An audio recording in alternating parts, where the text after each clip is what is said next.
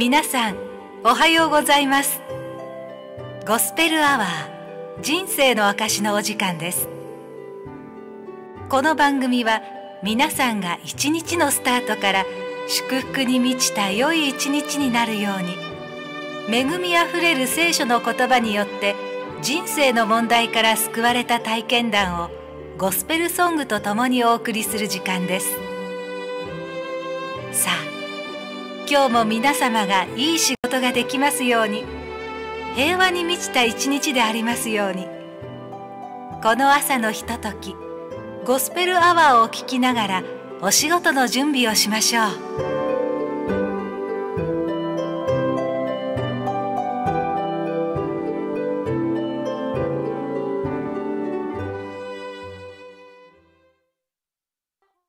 あなたの人生に輝きを。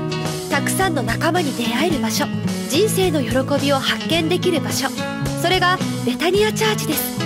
苦しんでいる人悩んでいる人一度訪れてみてください。988-4782沖縄ベタニアチャーチ。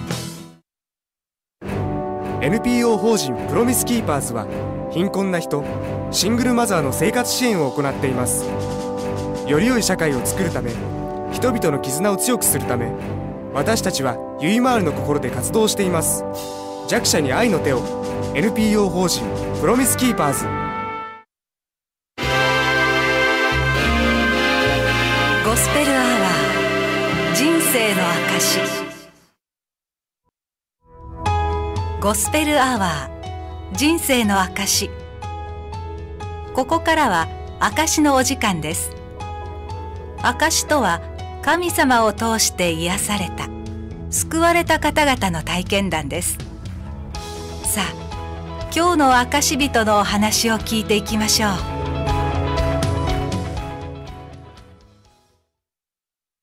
私は長崎市出身で57歳、鉄本治です。私の人生の証をします。私は長崎出身なので、周りにはカトリック教会もありました。また、キリスト教系の幼稚園に通っていたので、教会という場に抵抗はありませんでしたが、信じてもいませんでした。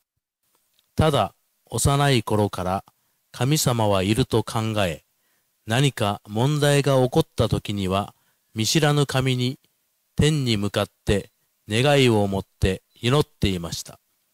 そうすると不思議と大抵のことは解決していましたが、それは困った時の神頼みという状態で、必要な時の神様という存在でした。ですから、学生時代は日頃からクリスチャンである友人を徹夜で麻雀などの遊びに付き合わせて、日曜の朝、その友人が教会へ行くのを平気で邪魔していました。その後、祖母が亡くなり、初めて葬式に参列した時でした。家族、親類はきっと個人を痛み、悲しみに包まれた時間になると幼心に思っていましたが、その後、酒の席となり、中には大声で世間話をする人さえいました。その時、ここには、墓にも神はもういないと感じ取りました。その後、社会人になり、仕事も私生活も順調で、幸運だけで世の中の名誉、賞賛を多少手に入れていたにもかかわらず、自分の能力だと高慢になっていました。しかし、ある時、自分ではどうしても解決できない、今まで培ってきたすべてを破壊する抜け道のない困難がやってきました。その時、なぜかはわかりませんけど、知人とキリスト教会に行く機会が与えられました。そこで私が見たものは、つつましい生活をしながらも治安が悪い地域で24時間閉じることもなく貧しい人、困っている人たちを受け入れ、聖書の言葉を語り、実践している高齢の牧師夫妻でした。日々、いろいろな人と競い合って、相手の本心を読み取りながら、また疑いながら、この世の名誉と賞賛を手に入れてきた自分の癒しさと悲しみが、その時脳裏に映し出されました。そこで初めて自分の今までの幸運が自分の力、能力で勝ち取ったものではなく、イエス・キリストの憐れみと恵みによって与えられたことを知り、いかに自分が高慢だったのかを知ることができました。この導きは聖書の神イエス・キリストの計画であり、私が選んだのではなく、イエス・キリストが私を選び、救われたのはキリストの恵みであり、決して私の行いでないことを実感しています。その結果、妻、子供にも恵まれ、今は親子4人、本当の真実の神である聖書の神、イエス・キリストと共に毎日感謝して生きています。日々、悩み、困難があっても、イエス・キリストに委ねて感謝して祈りを捧げると解決したり、また時間がかかっても最終的には良い結果が生じると信じることができます。また家庭の中でスマホを有益に使い、毎日聖書の言葉を発信し、家族お互いで励まし合うことも実行しています。この放送を聞かれている方、この時間もすべては聖書の神様のご計画です。解決できない問題を抱えたり、何か悩んでいる方、この時がイエス・キリストの恵み、招きと考えてください。つまり、大きなチャンスです。そして、教会で一緒に真理である聖書の神、イエス・キリストに感謝し、恵み、癒しをいただき、毎日感謝の心を持って、喜んで、楽しんで、共に生きていきましょう。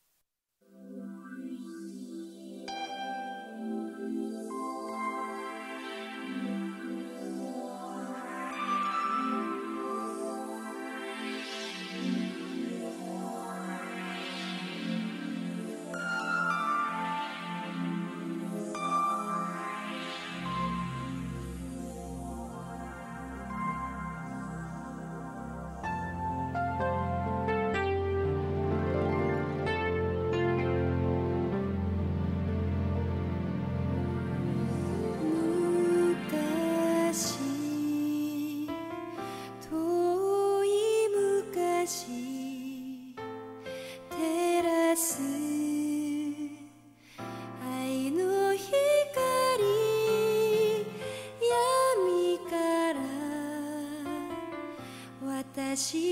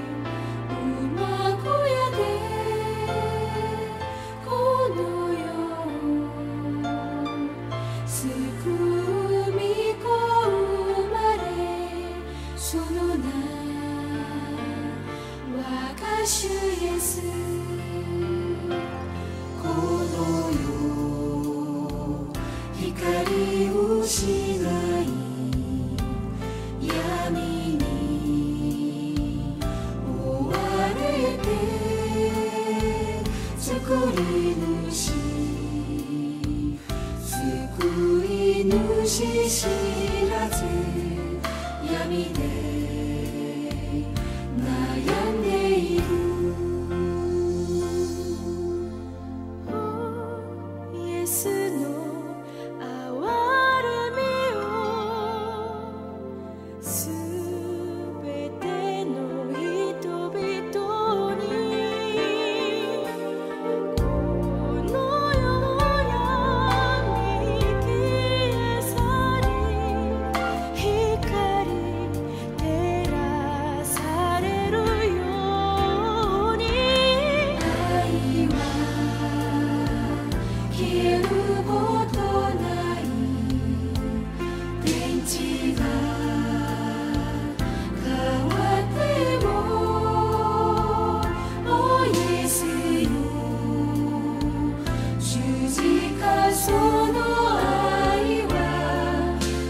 Maria.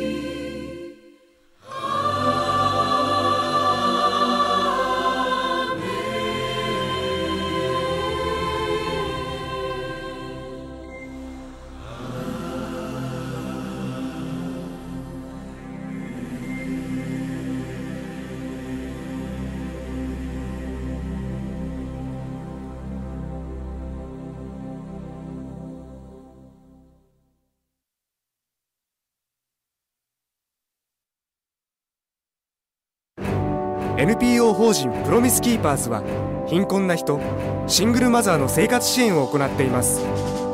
より良い社会を作るため人々の絆を強くするため私たちはゆいまーるの心で活動しています。弱者に愛の手を NPO 法人プロミスキーパーズ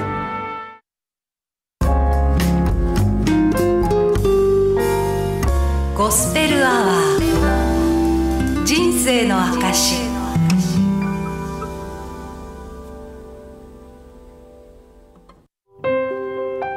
世界のベストセラー聖書それは神様からのあなたへのラブレターです今日は聖書からこの言葉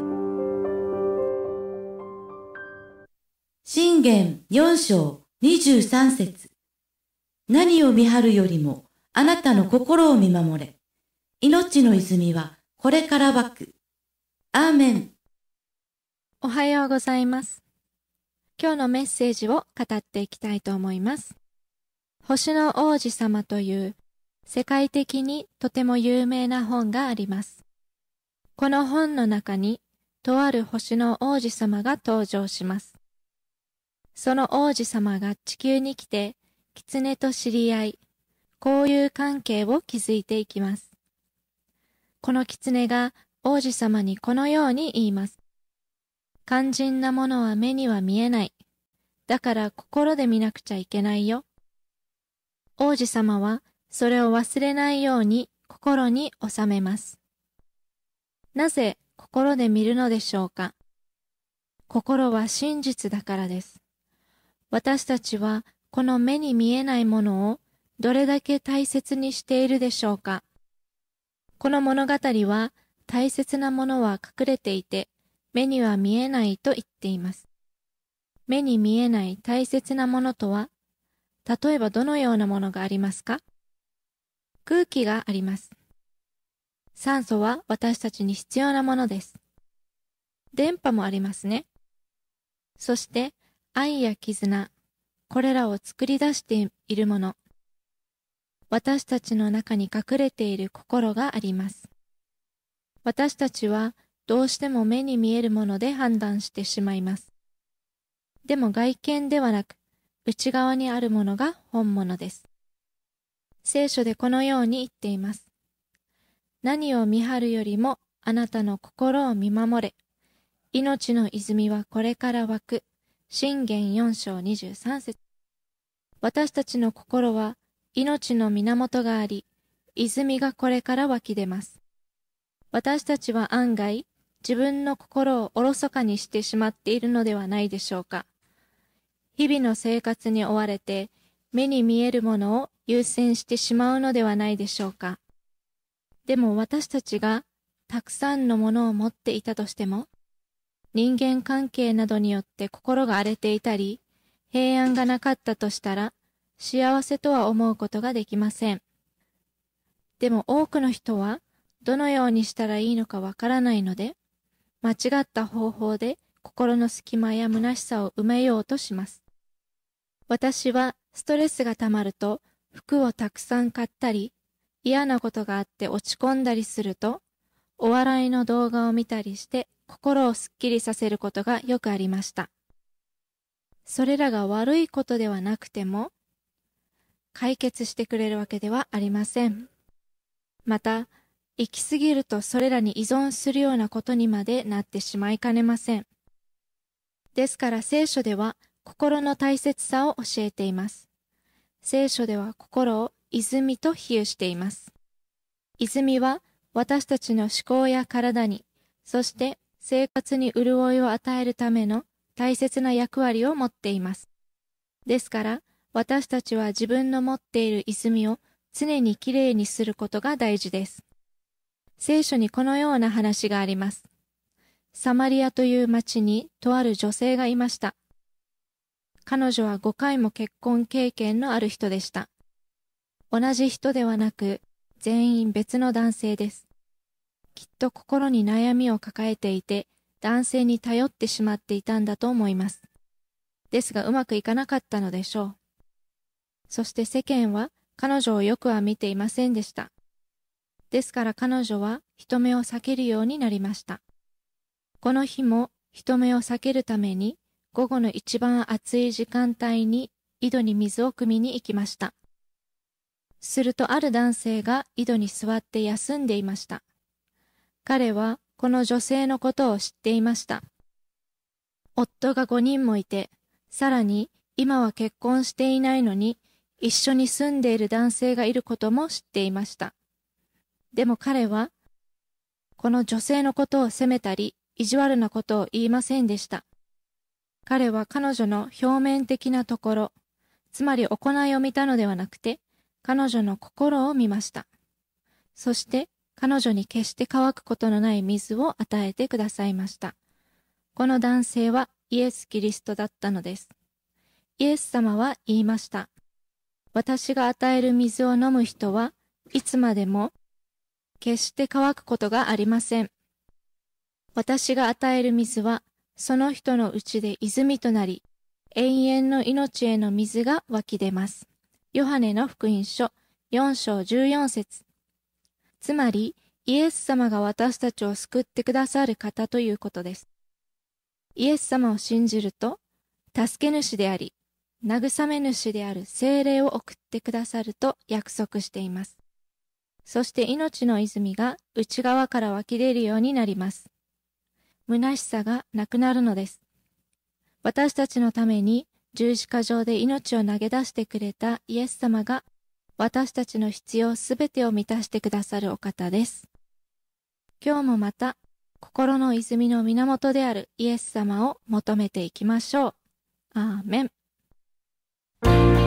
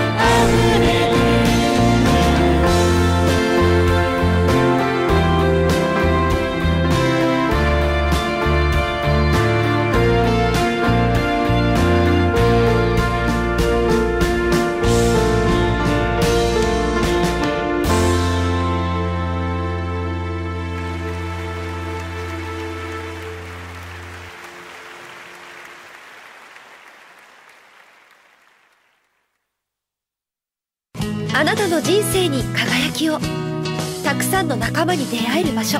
人生の喜びを発見できる場所。それがベタニアチャーチです。苦しんでいる人悩んでいる人一度訪れてみてください。988-4782沖縄ベタニアチャーチ。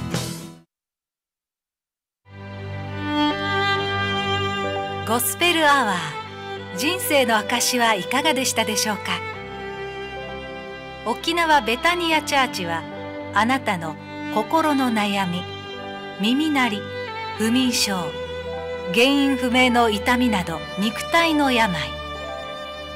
依存症統合失調症金縛り悪夢を見る。沢田狩り生まれなどの霊的な問題の相談を受け付けています。これらの問題にはほぼ悪霊サタンが関わっています。問題に悩まされている多くの人々が悪魔から解放される必要があります。私たちの教会では悪魔払いをやっています。病気や霊的な問題でお悩みの方は毎週金曜日夜7時半から癒しの正解を行っていますので那覇市曙の3-6-24沖縄ベタニアチャーチまでお越しください。またベタニアチャーチでは毎週日曜日朝10時から礼拝を行っています。祈り会は毎週水曜日午後2時からと午後7時半から2回行っています。どなたでも参加できますのでぜひいらしてください。沖縄ベタニアチャーチは那覇市曙の3-6-24電話番号098-988-4782ファクシミリ。098-988-4787メールアドレスは info アットマークベタニア .jp で質問や相談も承っていますのでお気軽にご連絡ください。ゴスペルアワー人生の証は毎朝放送しています。また明日。同じ時間にお会いしましょう。